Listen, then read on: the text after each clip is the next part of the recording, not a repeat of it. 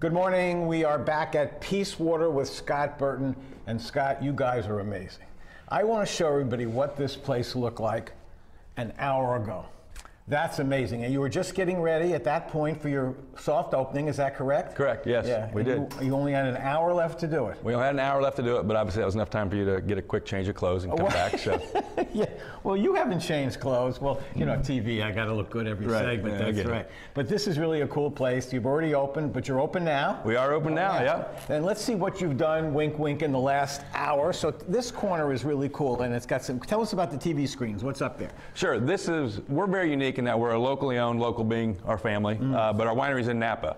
So as a way to kind of visualize what everybody, to show everybody what we do, um, we have videos here of our vineyards where we grow all of our grapes in Napa and Sonoma area. Uh, map that kind of shows them where what goes into which particular wine. Little stories about our winemaker, about our family as well. Uh, and these are the different lineup of wines that we have. We actually have 14 different wines that we make right And now. it, you sell them here and Carmel, and that's it. That's it, You're, yeah. That's what you're. yeah, we're truly making Napa wine for Hoosiers. So we, awesome. yeah, all the way through. You've, and now these kegs are really cool because they represent what, Scott? Those are our French oak barrels, uh, which come from France, which uh, are the kind of the premium barrels to make wine in. But those are very special to us because those are the first barrels that we ever made wine in out in Napa. They, we retired them after three years, shipped them here off the truck, and uh, thought this would be a great place to, to make their And permanent in home. One hour you put in a fireplace. We got it working, one yes. hour you yeah, got it working. uh, exactly. One hour, all this. That- amazing. All right, so you're open now. What's the address here? 747 North College, the corner of College and Mass Ave. The one thing we haven't talked about, which we will in the next segment,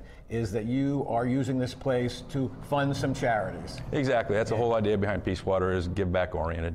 Okay, we're going to show that how you do it, which is pretty cool. And by the way, last shot. What's the, what are those corks about? We mentioned in the previous segment. We saved every one of those corks since we opened up from our tasting room up in Carmel three and a half years ago, and we have a contest. If you guess how many corks are in the wall exactly right, you get a free bottle of wine. Awesome. We will be back with the final segment. Stay with us.